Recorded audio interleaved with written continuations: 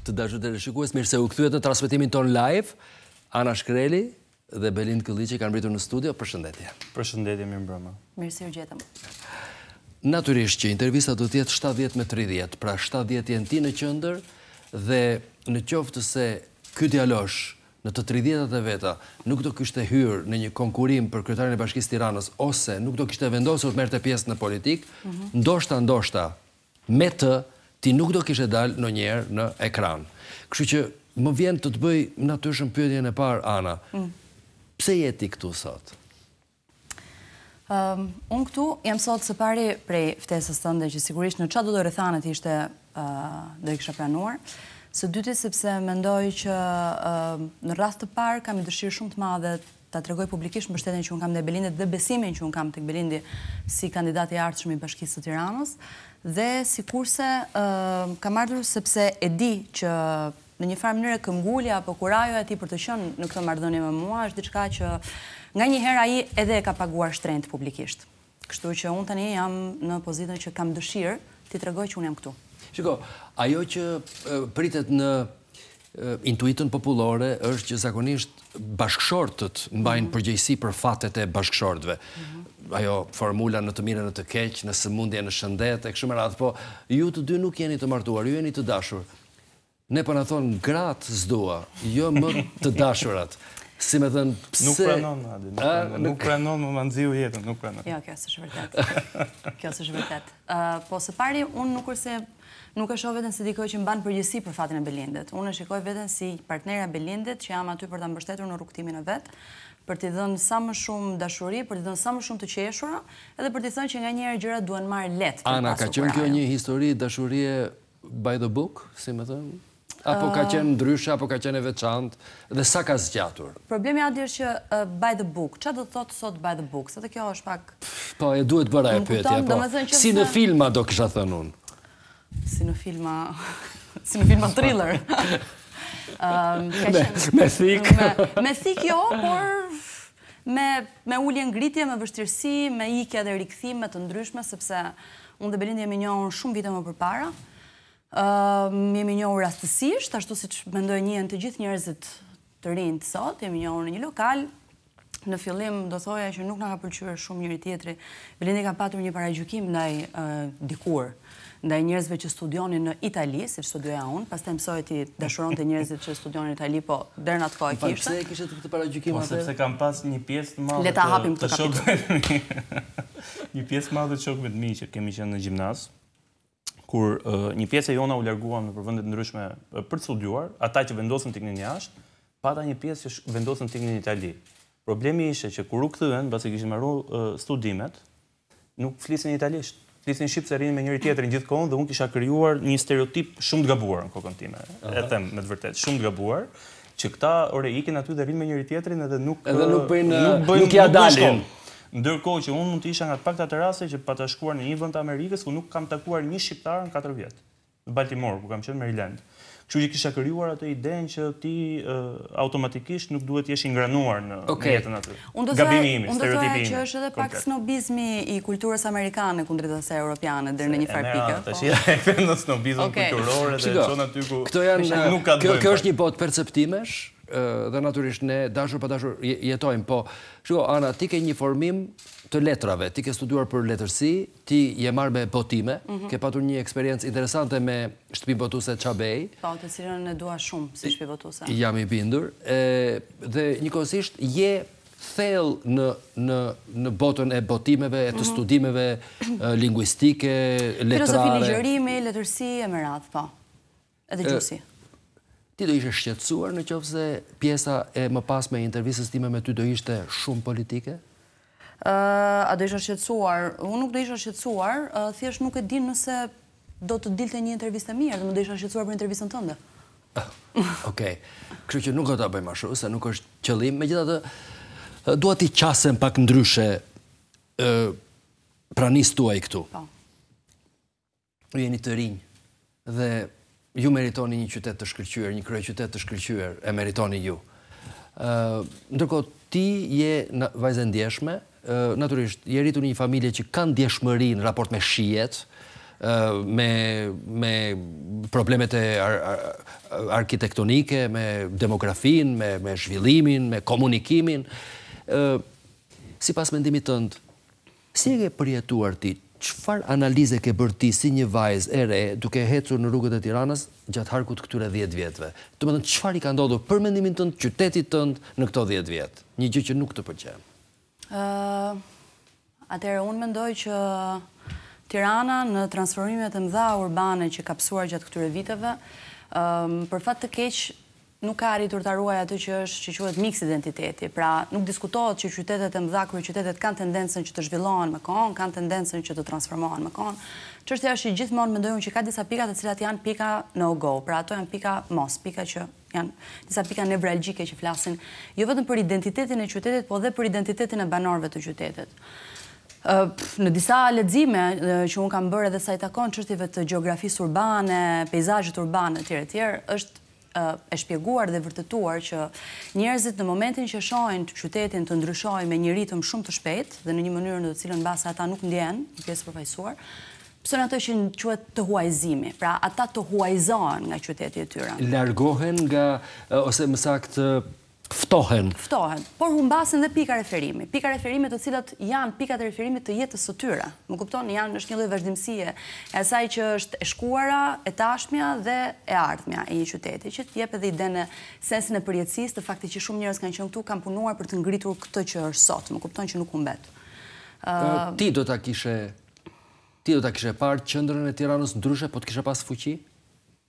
Unë qendrën e Tiranës do ta kisha ruajtur ashtu siç ka qenë, të paktën qendrën do kisha bërë atë që është bërë në shumë vende të tjera, që ok, do ta zhvillosh qytetin, qyteti zhvillohet diku tjetër, zhvillohet në një zonë tjetër, ne kemi parë të ndodhi kjo, e kemi parë të ndodhi në Paris, e kemi parë të ndodhi në Londër.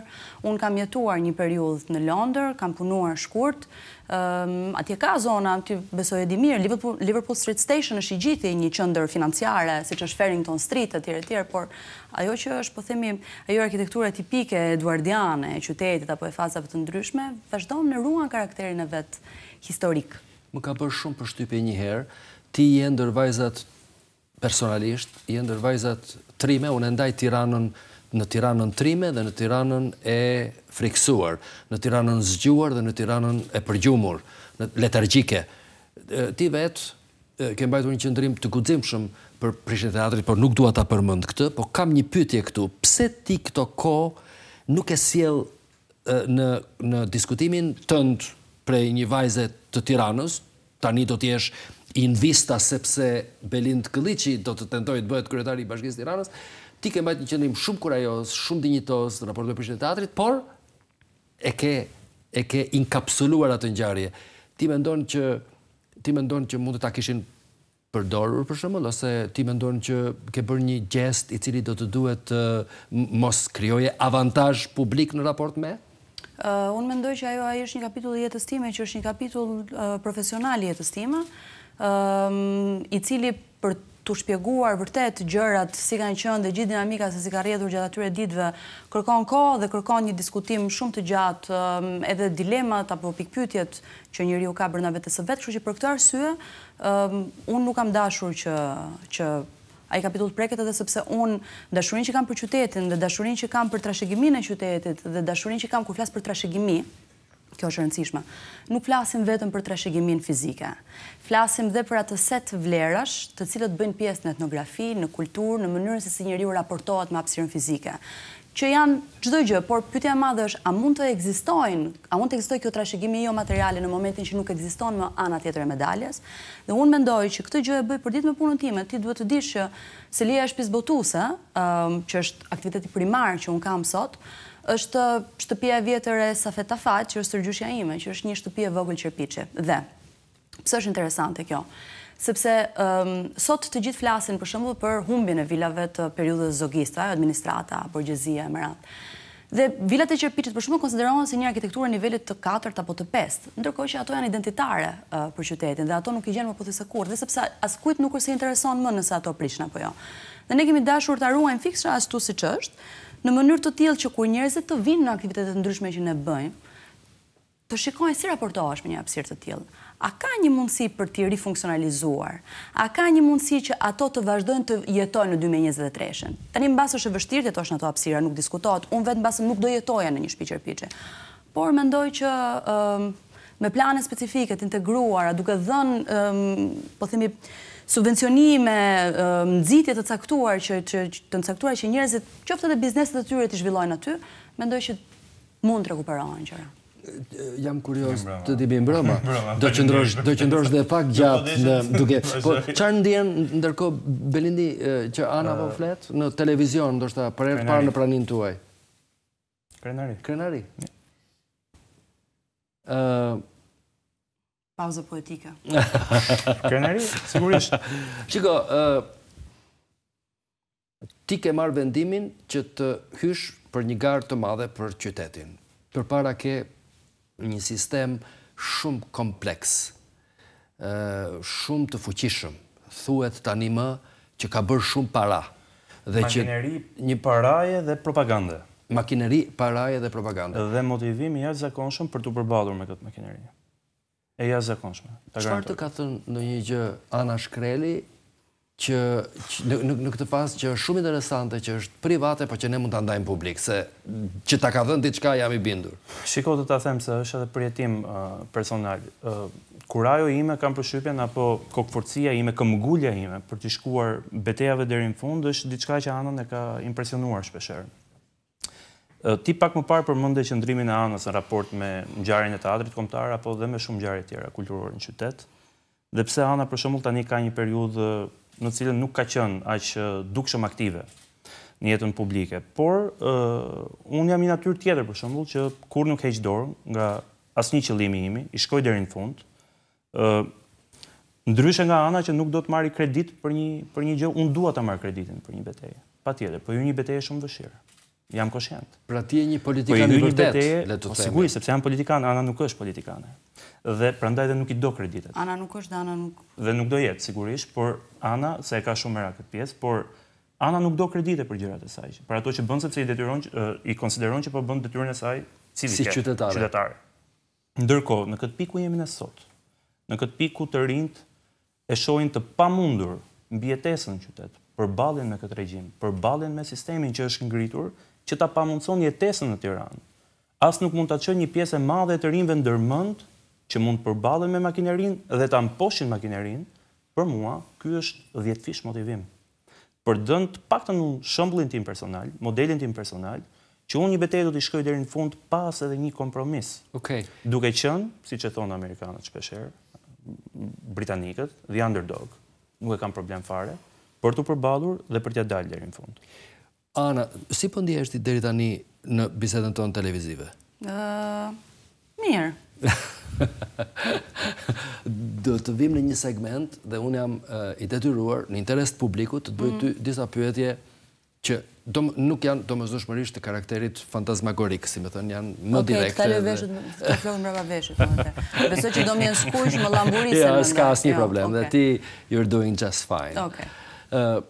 Shiko, duke patur parasysh që të dashur ose jo, me këtë status, domethënë, bashkëjetues ose jo të momentit, ju jeni, gjithsesi, ju keni dalë në një program televiziv në momentin që jeta politike e Belind Këlliçit po ndryshon fort, sepse ai mund të zgjidhet kryetar i Bashkisë së Tiranës, në rastin më të mirë, por në çdo rast tjetër, ai është në hartën tanimë të njerëzve të cilët diskutohen shumë në në publik dhe dy koncepte që ti i ke thënë më kanë bërë shumë përshtypje. Ti ke thënë një gjë interesante që ti e gjen këtë qytet të reagojë në dy grupime të ndërsyera karshi njëri-tjetrit të cilat sillen si në një derbi të madh politik për të për të fituar jo aq territor kilometrik, por për as as as as rezultate konkrete e produkte jete, por të për të fituar ca gara të pa të çuditshme, gati të pa kuantifikueshme, ë? Në në në në këtë në këtë në këtë teatër E ndjen veten ok? Apo je si me thënë dëshiron që të jesh e mbyllur, dëshiron që të jesh në mbrojtje, dëshiron që të jesh në heshtje? Problemi është Adi që unë nuk mendoj që njerëzit të cilët nuk janë shumë të zëshëm në fakt janë njerëz që nuk veprojnë. Do me thënë unë mendoj që njerëzit veprojnë çdo ditë me punën që bëjnë, me qëndrimet e vogla që mbajnë për ditë, me bisedat që bëjnë, Me synimin për të botuar një tekst apo një tekst tjetër në këtë rast. Dhe çfarë po komunikoj unë me këtë? What do I stand for? Për çfarë qëndroj? Më kupton? Kështu që në këtë sens e kam shumë të rëndësishme ta them këtë, tamam sikur të ishim duke folur bashkë në jashtë kamerave, sepse nuk dua që njerëzit të mendojnë që e vetmja mënyrë për të mbajtur një qëndrim është duke ngritur zërin mbase dhe publikisht. Ëm njerëzit mbajnë qëndrime përditë në punën që bëjnë dhe në jetën e tyre. Por që unë mendoj që për fat të keq, ky është opinioni im, ka një radikalizim të tejskajshëm të të njerëzve, të qëndrimeve publike që krijon një tension, i cili është një tension gati i pashëndetshëm, ë këtë e besoj. Domethënë përherë më shumë ë ka një logjikë në mes që i ndan njerëzit në të mirë apo të këqij, miq apo armiq, Të bardhë apo të zi. Në këtë fazë kur bisedat për Belind Këlliçin dhe të dashurën e tij Ana Shkreli, më duket sikur është paragrafi i Kadaresë ose i cilitdo shkrimtari, ë? Sepse ai përdor, i pëlqen emri Ana dhe ka dhe një personazh me mbiemrin Shkreli. diskutimi do të bëhet shumë i ashpër, por në vetvete, ndërkohë ka qenë moment, ka pas momente kur është bërë i ashpër.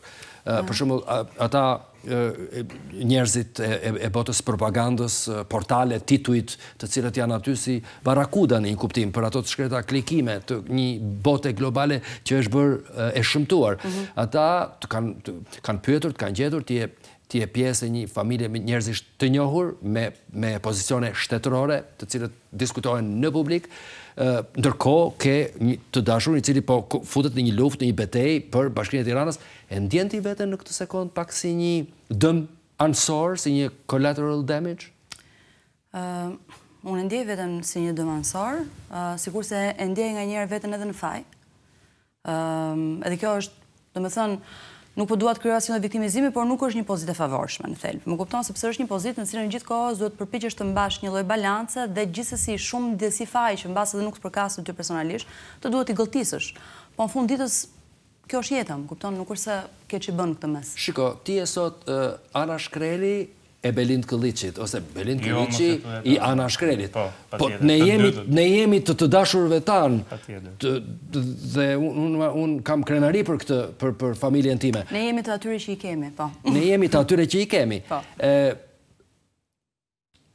ajo që diskuri që mund të bëhet shumë shpejt, që kur të futemi në fushatë, do të bëhet, siç janë mësuar shqiptarët, mund të bëhet i hidhur, i shëmtuar, delegjitimues, relativizues, personal dhe i shëmtuar. Ka një vijë të kuqe të cilën ti nuk do ta kishe pranuar dhe cila është ajo? A ka një vijë të kuqe të cilën po të më ishte kërkuar që të thoja gjëra të cilat nuk i mendoj. Kjo është vija ime e kuqe. Këtë nuk do ta kisha pranuar. Fair. Ndërkohë, pyetja ime për ty është kjo, ka patur në diskurin parafushator, ose, ose të betejës politike që bëni në, në, në Shqipëri këto kohë, kur ka dalë një djalë i ri, i cili është 30 e ca vjeçar, është nuk konsiderohet mashtrues, nuk konsiderohet hajdut, nuk konsiderohet treleksh në sensin e sjelljes publike, ata menjëherë kapën gjëra dhe të gjetën për shembull krushqinë me, ose lidhjet me partinë socialiste, të cilat u thanë hapur, natyrisht nga aktorët që janë të ndjeshëm në raport me destatuimin tënd, Ëh, mbase mbase ata me zhvlerësimin e këtyre të gjithave që ti the.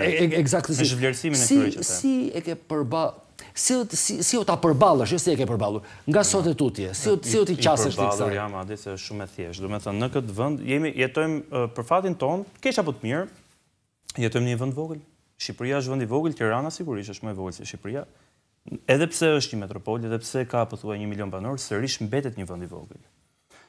Unë vetë në këtë qytet kam vendosur që gjërat t'i bëj me zemër, edhe dashurinë ta kem me zemër, dhe ushqej dashuri për personin që më do zemra. Ka nga ata që dashurinë e ushqejnë për partinë. Kjo kategori mua nuk më shqetëson fare. Për sa kohë ka njerëz që dashurojnë partinë, gjykojnë vetëm në atë sens, dhe njerëzit i shohin vetëm në atë drejtim. Për mua janë të parëndësishme fare. Unë jam Belindi, Ana është Ana. Unë jam dashuruar me Anën për shkak të asaj që Ana përfaqëson dhe kush është Ana, dhe unë jam i dashuruar me Ana Shkrelin. Dhe unë dua Ana Shkrelin. Kaq e thjeshtë është. Nuk besoj se jam unë ky i pari dhe i fundit në Republikën e Shqipërisë apo në Tiranë që kam bërë këtë zgjedhje. Kështu që më duket shumë absurde nganjëherë, po tentativa për të, për të më për të më shqetësuar dhe për të më për të më zhvendosur vëmendjen nga objektivi final. Objektivi final i imi është i mirë përcaktuar. Është çrrënjosja e një modeli që e ka vënë Tiranën nën thundër në këto 8 vite, dhe unë objektivin e kam shumë qartë. Nuk shqetësohem fare për goditjet që mund të vijnë ose stërkëmshat gjatë rrugës, sepse më duhet të mbërrij në objektiv. Më lër të bëj rolin e gazetarëve të poshtër, të cilët kanë kanë gjetur Ana Shkrelin përballë dhe duan që ajo të vihet në pozitë të vështirë dhe natyrisht të çojë flokët mbrapa. Ti e di diskutimin e kohëve të fundit që është bërë që nga kryeministri e pastaj nga shumë aktorë të tjerë të qeverisjes së Shqipërisë që duhet të Shqipëria të ketë një sjellje tjetër institucionale, ligjore mbase, për ndërtesat që janë bërë përpara pesëdhjetë vjetëve, të cilat, të cilat një pjesë prej tyre janë bërë nga të burgosur në Shqipëri për hir të të vërtetës ose janë bërë edhe pse ato nuk u prishën kurrë nga një tërmet, domethënë ishin bërë mirë, po kjo shkaktoi shumë tension sepse Ana, Shkaktoi shumë tension sepse njerëzit kanë shumë shqetësim se mos gjenden nëpër rrugë, pastaj mbeten pa shtëpi, pastaj futen nëpër ca qerthuj të vështirë të një shteti burokratik që harron ose gënjen e kështu me radhë. Tani, Shkreli ka folur për këtë, the mhm. father. Qasja e tij, jo domosdoshmërisht shkakton duartrokitje gjithandej. Dhe përderisa ai ka një pozicion publik, mhm. ka një reaksion ndaj çdo gjëje që ai thotë dhe bën. Mhm. Dhe Unë jam i mendimit që fëmijët nuk duhet të përgjigjen për veprimtarinë e gjithkujt. Njeriu përgjigjet për veprimtarinë personale. Po megjithatë, parë nga këndvështrimi i gazetarisë së sotme, në qoftë se dikush do të të kishte pyetur se a ke ti një reaksion për këtë ngjarje, a ke një mendim, do të kishe dashur të thoje një mendim, po ose jo? Unë nuk kam një mendim sepse është një çështje shumë teknike. Okej. Okay. Domethënë është një çështje në të cilën unë nuk gjykoj që kam kapacitetin dhe nuk njoh kuadrin e plot që të them të shpreh çfarëdo opinioni. Domethënë e kuptoj shqetësimin e gazetarëve të poshtër. Gazet... Siç po e thua ti domethënë se sigurisht nuk janë gazetarë të poshtër, shqetësimi i çdo gazetari është një shqetësim shumë i legjitimuar dhe duhet të jetë shqetësim dhe çdo gazetar duhet të ngrejë pyetje dhe t'i shkojë pyetjeve deri në fund, pra ishte prapë në kuadrin e Por nuk jam unë personi i duhur për këtë gjë. E kuptoj. E ke këtu personin e duhur ti. Asnjë gjë nuk do të ndodhë. Pa diskutim me 14 maj, prandaj po shkojmë edhe për të për të bërë ndryshimin. Duke qenë se ky është një proces që i takon bashkive, pushtetit lokal për ta bërë, thjesht ma japin mundësinë qytetarët e Tiranës, se në Tiranë garoj, që mos kenë asnjë problem me banesat e tyre. Është kaq e thjeshtë. Sado që mund të jetë hapur panik apo jo nga portalet, ç'rëndësi ka Banesat e qytetarëve nuk do të preken. Në fund të kësaj interviste, Ana, unë do t'i bëj Belindit një pyetje shumë thelbësore, e cila do ta shoqërojë Belindin edhe nga kolegët e mi të të të gjithë televizioneve, radiove, portaleve, të gjithë ku, gjatë gjithë betejës deri në datën katërmbëdhjetë maj. Por përpara, duke qenë se ti je e botës komunikimit, je e botës letrave, Dhe ndërkohë ke fuqi mbi këtë djalë, sepse ju jeni bashkë, ti mund t'i thuash çfarë të duash atij. Por, sipas mendimit tënd, për një qasje të suksesshme, efektive, drejt pozicionit kryetarit të bashkisë, sipas mendimit tënd, si duhet t'i qaset Belind Këlliçi Bashkisë Tiranës? Si duhet t'i qaset drejtimit të bashkisë Tiranës? Si marrjes së pozicionit të garës. Po, marrja e pozicionit duhet jetë për mua një pozicion sa më i hapur, në sensin që Belindi për mua garën e vërtetë e ka me qytetarët e Tiranës, dhe duhet të komunikojë me ata, kjo është e gjitha. Dhe ata janë fokusi, pjesa tjetër për mua është thjesht është një tymnajë, më kupton, ekziston dhe nuk ekziston, është një hologram, fjalët, sulmet, propaganda, çdo gjë është reale dhe ekziston për atë momentin që ti e beson. Momentin që ti nuk e beson, nuk është më reale, dhe momentin që ti komunikon me njerëz. Një kandidat për Bashkinë e Tiranës është i detyruar të bëjë premtime. Dhe po ta shohësh me vëmendje, më e lehta nga të tëra është të bësh premtime. Ke një këshillë, po flas sikur ky djali të mos jetë këtu, për një kandidatin Këlliçi si duhet t'i qaset si me thënë, premtimeve. Po, ne e kemi folë nja dy herë këtë gjë, kur për çështje të ndryshme, dhe unë e vetmja gjë që kam mundur t'i them sigurisht në kapacitetin tim, është që ki shumë kujdes kur premton, në sensin mendoje vërtet përpara, nëse vërtet kjo gjë është e bëshme, apo nuk është e bëshme, më kupton, sepse E nesërma vjen shumë shpejt. Domethënë nganjëherë është një shprehje shumë e bukur që thotë be careful what you dream of, domethënë ki kujdes Për atë që ëndërron dhe kërkon se ajo bëhet. Sepse do të të bëhet dhe mund të të bëhet dhe po u bë do të të vijë shumë shpejt, më kupton, dhe do jesh akoma po prapë i njëjti njeri. Kështu që në këtë sens nuk duhet me mendu për të ardhmen si diçka e cila nuk ekziston, nuk është aty, ë.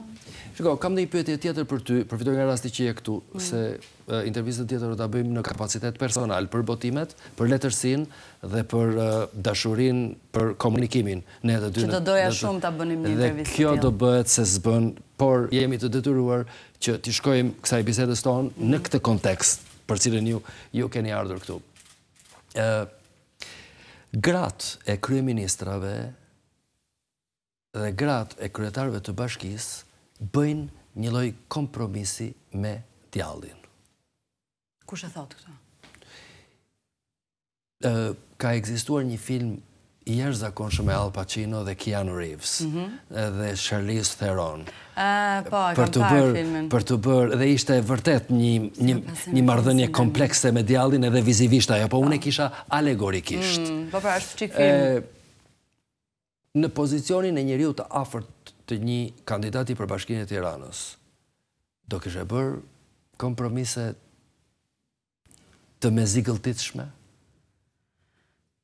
Po unë tani në pozitën që jam, sigurisht që jo do them edhe sepse jo e besoj. Më kupton? Po e sepse jo është të garantoj unë që të bëhet po. fjalë. Para nuk e kërkoj unë, nuk ka, do me thënë ka një arsye, se Më the shtatëdhjetë me tridhjetë, Adi, po ka përfundu tre përqind me nëntëdhjetë e shtatë. Jo, jo, ti do kesh pjesën tënde të intervistësh më kështu të plotë, të thellë. Vetëm intervista është shumë shkurtër. Ti ke gjithë blogun e fundit. Jo, arsyeja pse edhe marrëdhënia ime me Anën, gjykoj unë i ka rezistuar shumë momenteve të vështira, luhatjeve, ulje-ngritjeve, është për shkak se nuk e kam tejkaluar unë kurrë vijën e kuqe, në raport me atë që Ana është dhe me personin që Ana do të jetë. Kështu që unë kurrë nuk kam kërkuar ta vendos Anën në një moment vështirë, në një situatë vështirë, sikundër nuk e ka bërë kurrë me mua Ana. Pra secili ka lirinë e e tij personale për të bërë jetën e tij profesionale, për të marrë vendimet, për të bërë aktivitetin personal, dhe për të marrë vendimet mbi të cilat beson personalisht, si individ. Në qoftë se do kërkohet që ti të jesh prezente në foto op, pra të jesh në Bathore, të jesh në, do ta kishe bërë? Po unë do kisha bërë, besoj pjesë më të madhe të gjërave që e ndihmojnë. Po arsyeja që nuk më kërkon është sepse unë nuk jam, unë në radhë të parë nuk jam person politik, Në rast të dytë ka dhe diçka tjetër që. Po për ça duhet Ana në foto në bathore, se jam unë, jam unë, kështu që domethënë të largohemi nga këto klishe tipike, nga këto metoda tipike, nga ky PR-i i zakonshëm që shkon aty qajnë, kujdesen për banorët e ndërkohë pastaj kur largohen as nuk i bie dhe tregojnë barcaleta për situatat ku kanë qenë, jo, këtë punë e kam unë. Politikani këtu jam unë, jam unë personi që duhet merrem me këtë çështje dhe ata banorë duan të dinë nga unë për problematikën e tyre, zgjidhjen që unë ofroj.